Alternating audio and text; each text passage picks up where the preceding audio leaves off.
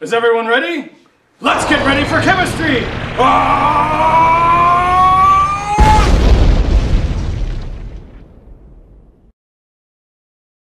Okay, let's look at a basic calorimetry type problem. How much energy is needed to raise the temperature of a 55 gram sample of aluminum from 22.4 degrees Celsius to 4.6 degrees Celsius? The specific heat of aluminum is 0.894 joules per gram degree Celsius. We want to make a list of everything that we've been given in the problem. Get rid of the words by making a list. We know that if something has the units of joules per gram degree Celsius, that must be a specific heat. So the specific heat is 0.894 joules per gram degrees Celsius. Also, it says that that's the specific heat, so that can't be too hard to figure out. We have 55 grams. We know that that's a mass because grams are a unit of mass. We have two temperatures. There's a 22.4 degrees Celsius and there's a 94.6 degrees Celsius. So if you start at London and fly to Tokyo, then you must be starting at London and flying to Tokyo. So the initial temperature here would be 22.4 degrees Celsius, and the final temperature would be 94.6 degrees Celsius. We have enough information to find the change in temperature. Change in temperature is the final temperature minus the initial temperature. In this case, 94.6 minus 22.4 is 72.2 degrees Celsius. I have a specific heat, I have a mass, I have a change in temperature. Let's get rid of these just so that we don't get tempted to reuse them. But there's something else this problem has in it. Another piece of information that we need to add to our list. So we found the mass, we found the specific heat, we found the temperature change, but there's one more piece of information, and that's right here. How much energy is a Q? So what we're looking for here is we're looking for the energy transfer. We're looking for the Q.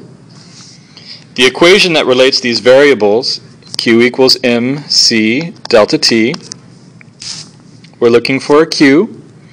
We have a mass, it's 55 grams. We have a specific heat, it's 0.894 joules per gram degree Celsius. We have a temperature change, it's 72.2 degrees Celsius. Now we can treat this like an algebra problem and solve for Q. We have all the variables we need. This is actually an important step. Taking stock of your, of your situation is an important step because if you should have all of the variables and you don't, it means you need to reread the problem for more information. We don't have to worry about that in this case because we found everything we need. Q equals the mass, which is 55 grams, the specific heat, which is 0.894 joules per gram degree Celsius, and the change in temperature, which is a positive 72.2 degrees Celsius. The units cancel. Degrees Celsius cancel with degrees. Grams on top cancel with grams on the bottom, leaving us with units of joules, which is a unit of energy, so we feel good about that. 55 times 0.894 times 72.2 is 3,550 joules. The energy is positive, so we know that the aluminum is absorbing heat. How much heat? 3,550 joules. So we feel good about this. Let's look at another problem. 3.5 kilojoules of heat are added to 28.2 grams of iron at 20 degrees Celsius. What is the final temperature of the iron? The specific heat of iron is 0.449 joules per gram degree Celsius. We have 3.5 kilojoules. Kilojoules are a unit of energy, so this must be my heat. Also, it says of heat, so we feel pretty good about this. 28.2 grams, grams are a unit of mass. So this must be the mass of the sample. 20 degrees Celsius is a temperature. Now, which one is this? Is this the initial temperature or is this the final temperature? Well, if it's starting at 20 degrees, then that's the initial temperature. But also, it asks us to find the final temperature. We want the final temperature, so 20 degrees Celsius must be the initial temperature. And of course, the specific heat is 0.449 joules per gram degree Celsius because joules per gram degree Celsius is units for specific heat, but also it tells us that that's the specific heat. Yay! The equation that we're going to use, Q equals mc delta T, we're using this equation because there's a thermal change. We have a Q, we have a mass, we have a specific heat, and we're looking for the temperature change. We need to algebraically solve this equation for the thing that we're looking for. We do that by isolating that variable. We can divide both sides by mc to get delta t by itself. Delta t equals q over mc. Delta t equals 3.5 kilojoules over 28.2 grams times 0.449 joules per gram degree Celsius. Now if we look at this, grams are on the bottom here, and grams are on the bottom here, except that they're not on the bottom.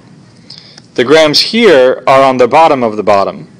So what you've got here is you've got 1 over 1 over grams,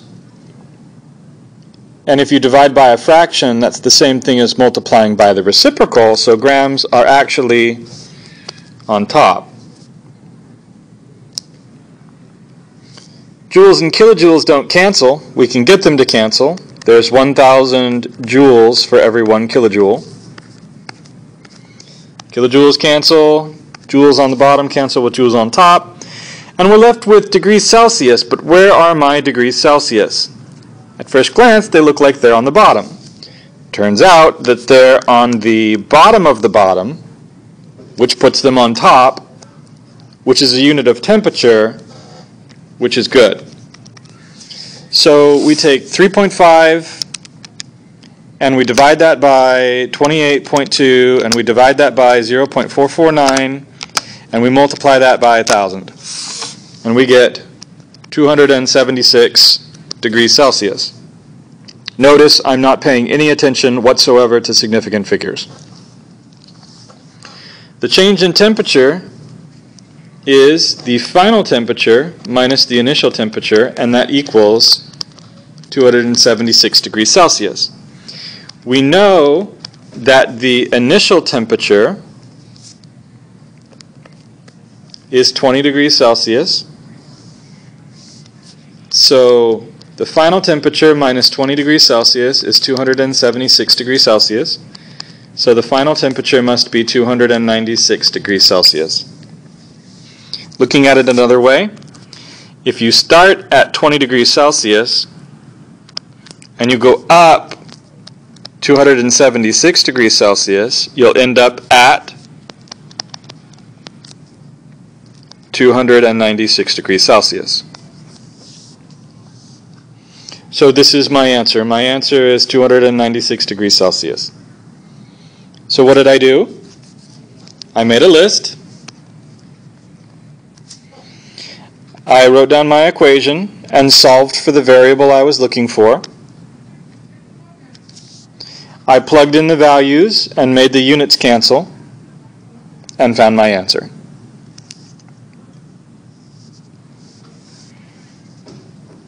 Let's look at another problem. 4.0 grams. That must be a mass. Grams are a unit of mass. The temperature, there are two of them, 274 and 314.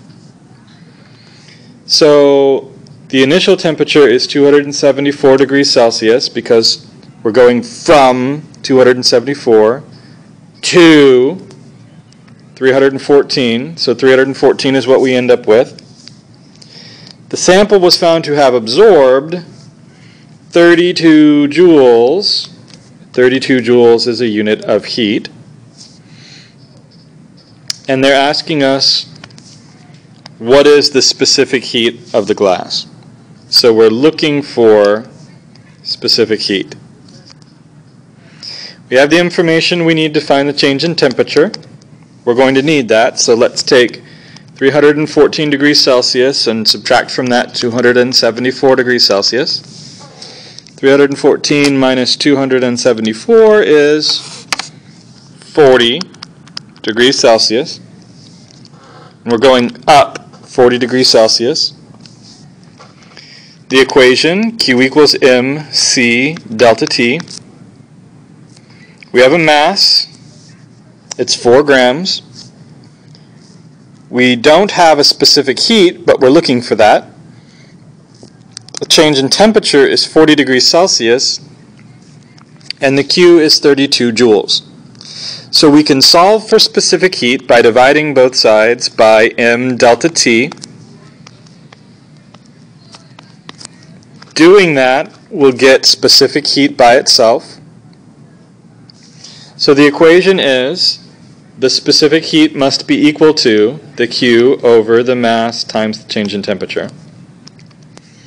The Q here is 32 joules. The mass is 4.0 grams. And the change in temperature is 40 degrees Celsius. We cancel what units cancel. As it happens, nothing cancels. Is that bad? No, because the units of specific heat are joules over grams degrees Celsius. So we have the appropriate units for our answer. And when we take 32 and divide by 4 and then divide by 40, we get 0.2 joules per gram degree Celsius. And that's our answer.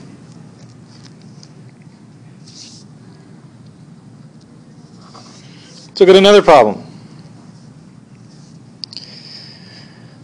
Determine the specific heat of a material if 35 gram sample absorbs 48 joules as it was heated from 293 degrees Celsius to 313 degrees Celsius. Pause the video and try to make your list. Don't go on and solve the problem, but just try to make the list.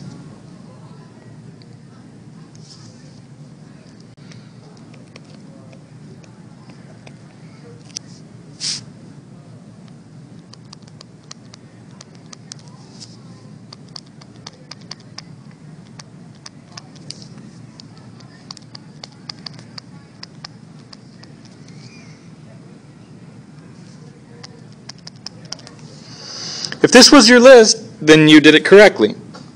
The order is not important. What is important that you extracted all the information.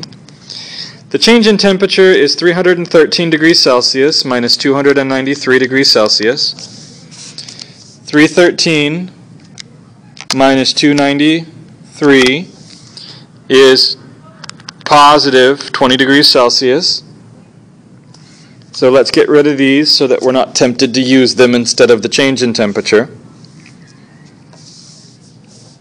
Now pause the video and see if you can solve algebraically for what we're looking for. Don't plug any numbers in, but solve algebraically. Q equals mc delta T. We're looking for the specific heat. We'll need to divide both sides by m delta T. The specific heat, therefore, must be equal to Q over M delta T. So this is my equation.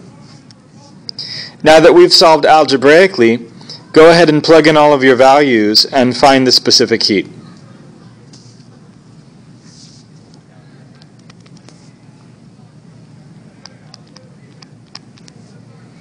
Forty-eight joules over 35 grams times 20 degrees Celsius